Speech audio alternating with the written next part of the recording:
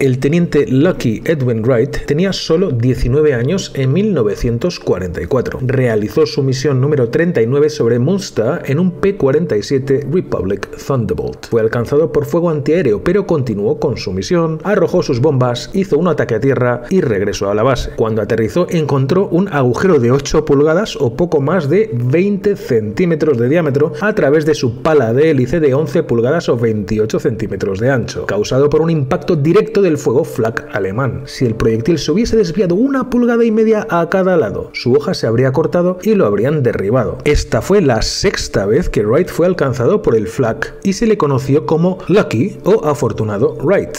Voló hasta 39 misiones en 5 meses y medio. Y de acuerdo con la tradición de la aviación de la Segunda Guerra Mundial, si quieres impresionar a la chica en casa, vuela un P-51. Pero si alguna vez quieres volver a verla, vuela un P-47 Republic Thunderbolt.